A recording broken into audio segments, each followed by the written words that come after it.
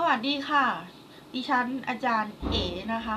ออนมณีจันทร์พยากรณ์นะคะ ดิฉันจะมาทำนายดวงชาว ราศีมีนนะคะ ในช่วงครึ่งปีหลังนะคะ ตั้งแต่เดือนกรกฎาคม2560 จนถึงเดือนธันวา2561 คลิปนี้นะคะจะสำหรับคนที่เกิดในช่วงวันที่ 16 มีนา จนถึงวันที่ 15 เมษาของทุกปีค่ะ ก็ขอแนะนำตัวก่อนนะคะ ท่านใดที่สนใจอยากดูดวงกับดิฉันแบบมีค่าครูนะคะ มีค่าครูให้ไลน์ติดต่อมานะคะ A E T A R O T ค่ะ A t a r o t สองสี่ค่ะ เว็บไซต์ a t a r o t com คำค้นนะคะ ออนมณีจันทร์ เข้าไปที่ youtube com พิมพ์คำว่าออนมณีจันนะคะ ออ่างรอเรือมอม้านอนเนนสลีจันนะคะ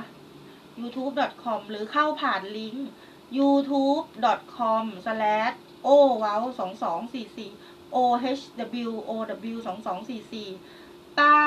ใต้คลิปเนี้ย ใต้คลิปเนี้ยกดเข้าไปอะมันจะมีเบอร์ มันจะมีทั้ง Facebook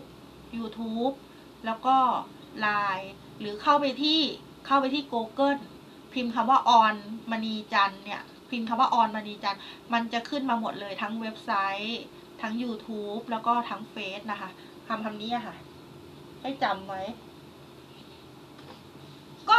คลิปนี้เป็นคลิปสุดท้ายแล้วนะคะ คลิปนี้ก็จะเป็นการทายดวง 6 เดือนนะคะ ตั้งแต่เดือนกรกฎา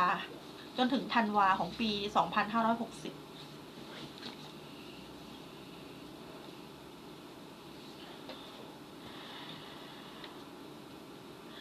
ชาวราศีมีนนะคะ มีเกณฑ์อ้วนขึ้นค่ะ ก็ท่านมีดวงตั้งครรภ์สูงมาก ในสิบสองราศีราศีมีนเนี่ยมีโอกาสที่ตั้งครรภ์ง่ายมากที่สุด อาจจะได้ลูกแฝดด้วย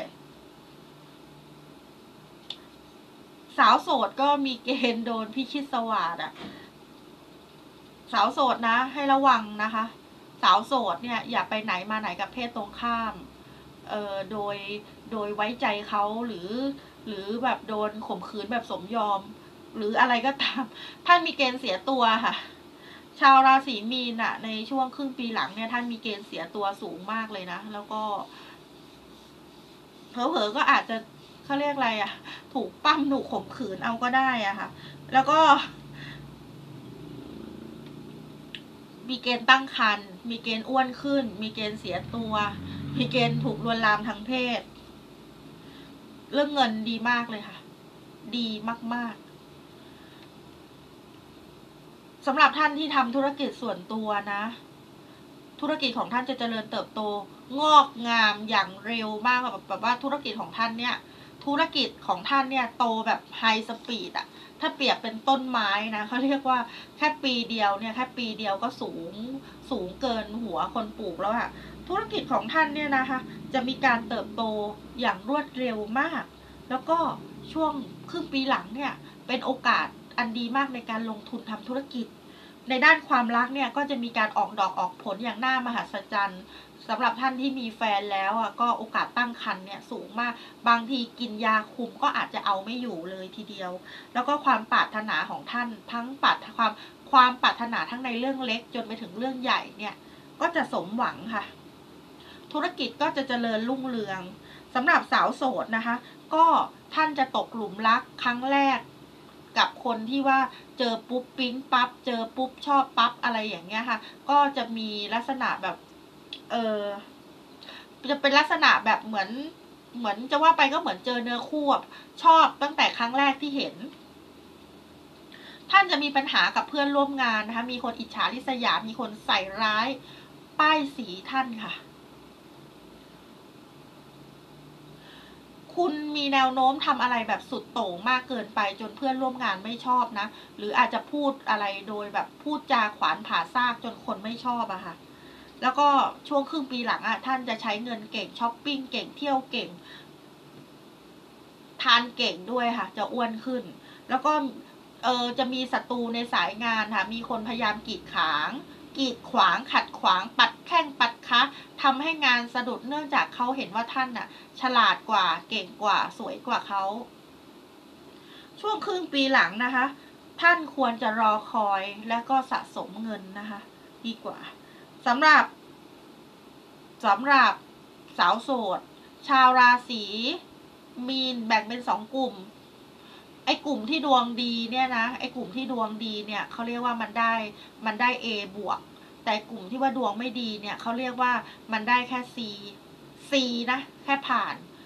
สาวโสดหลายท่านน่ะ ก็จะเป็นอาการแบบรักเขาข้างเดียวก็มีค่ะ ชาวราศีมีนที่ว่าสเสน่ห์แรงมีคนมารักมาชอบ มีคนมาแบบ เออมีคนจะมาแบบลวนลามทางเพศอะมี แต่คนที่ว่ากินแห้ว ไม่มีคนสน ไม่มีคนชอบก็มีค่ะไพ่แบ่งเป็นสองกลุ่มอะ อีกกลุ่มหนึ่งก็เสน่ห์แรงอะ มีคนมา เออมีคนมาเขาเรียกอะไรมีคนมาตามตื้อ แต่อีกฝั่งหนึ่งก็ไม่มีไม่มีคนสนใจเลยก็มี แต่สิ่งที่เหมือนกันก็คือ จะกินเก่งจะอ้วนขึ้น จะหาเงินได้มากขึ้นค่ะ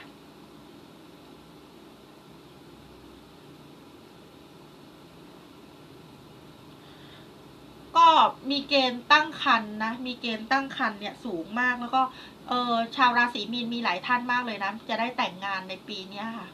แล้วก็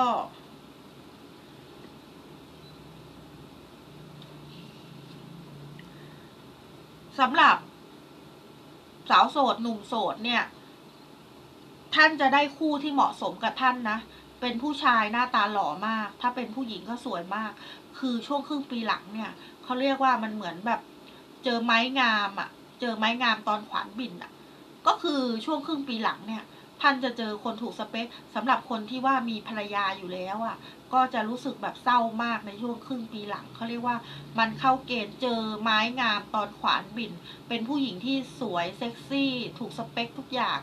เสียอย่างเดียวอะ่ะ คือท่านมีครอบครัวแล้วเขาก็เลยไม่เล่นด้วยสำหรับผู้หญิงก็เช่นกันก็คือจะเจอผู้ชายแบบหล่อมาก ถูกสเปค หน้าตาดีรวยด้วย แต่จะได้หรือเปล่าก็อยู่ที่บุญวาสนาค่ะ บุญทำกรรมแต่ง แต่คนที่อิจฉาท่านในสายงานอะเยอะท่านจะถูกเพื่อนร่วมงานหักหลังทรยศด้วยนะคะ แล้วก็แฟนเก่าเนี่ยไม่กลับมานะ คนที่เลิกไปแล้วก็คือเลิกไปเลย แต่ว่าช่วงครึ่งปีหลังเนี่ย ท่านอะมีเกณฑ์นะ ที่จะไปเกี่ยวพาราสีเพศตรงข้ามก่อน คือจีบแบบมีชั้นเชิงอะ คือไปจีบเขาก่อนแต่ทำเหมือน แต่ทำเหมือนไม่ได้จีบ แล้วก็เพื่อนดูออกจะถูกจะถูกเพื่อนอิจฉาในเรื่องความรักค่ะ เพราะว่าชาวราศีมีนหลายท่านจะสมหวังในเรื่องคู่ ก็เลยส่งผลให้หลายคนเนี่ยหมั่นไส้ ชาว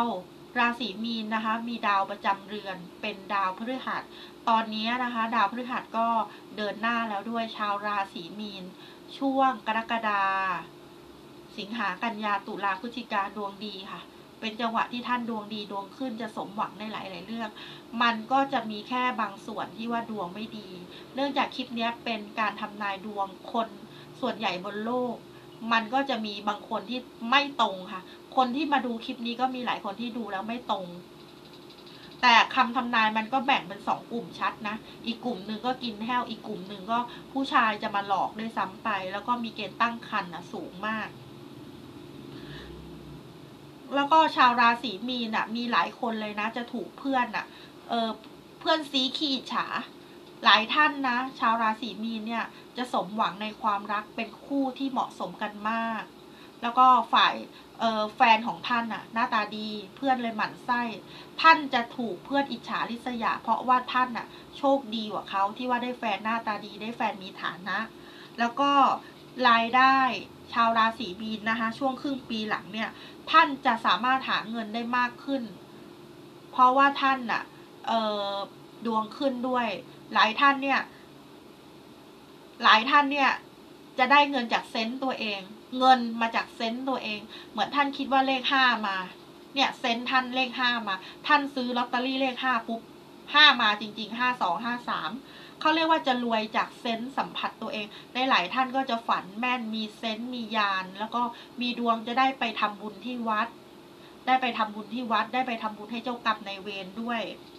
ท่านก็จะหาเงินได้มากแล้วก็ใช้จ่ายไปได้มาก หาเงินได้เยอะนะ แล้วก็ใช้ใช้เงินเก่ง ธุรกิจจะเจริญก้าวหน้าไปได้ดีค่ะ แล้วก็ปีนี้ท่านจะค่อนข้างเจ้าชู้เป็นพิเศษนะ แล้วก็ ผู้ชายที่ท่านเจอเนี่ย ส่วนใหญ่ก็จะเป็นคนเจ้าชู้ ปีเนี้ยท่านจะเผลอใจไปชอบผู้ชายเจ้าชู้อะเหมือนผู้ชายคนนี้เขาก็เจ้าชู้ ท่านก็เจ้าชู้ มันก็เลยเหมือนเป็นเป็นเพื่อนเล่นกันมากกว่า เหมือนกับว่าเขาอะมาสร้างสีสันให้กับท่าน มาทำให้ท่านตื่นเต้นเล่นแล้วสักพักหนึ่งเขาก็หายไปในสายลมนะคะ ก็เพราะฉะนั้นปีนี้ท่านก็ ไม่ ราะฉะนั้นปีนี้คือท่านก็ไม่ควรจะคิดมากอะค่ะ ไม่ควรคิดมากในเรื่องเพื่อนร่วมงาน ไม่ควรคิดมากในเรื่องเงินเงินทองทองนะคะเงินมันเงินมันลอยไปตามน้ำเดี๋ยวเงินมันก็มาเองอะค่ะก็ขอจบคำทำนายเท่านี้นะคะสำหรับชาวราศีมีนยังไง เอฝากด้วยนะคะช่วยกด subscribe ที เพราะว่าคือตอนนี้คือเอ๋ก็เออออกนะคะ ออกจากช่องเบนจามินมาทำช่องส่วนตัวแล้วก็ อยากจะให้คือเอเองเอก็อยากจะให้ช่องมันโตเจริญงอกงามอะค่ะโตไวๆๆก็อยากจะให้ช่องมันโต ยังไงท่านที่เข้ามาดูคลิปเนี้ยก็ช่วยช่วยกด subscribe กดแชร์ กดไลค์นะคะ ให้เอ๋ด้วยละกัน เพื่อที่ว่าเออเอ๋จะได้มีกำลังใจสร้างสรรค์ผลงานดีๆนะคะ มาให้ท่านยังไงก็ขอให้ทุกท่านนะคะ ที่เข้ามาดูคลิปนี้โชคดีค่ะ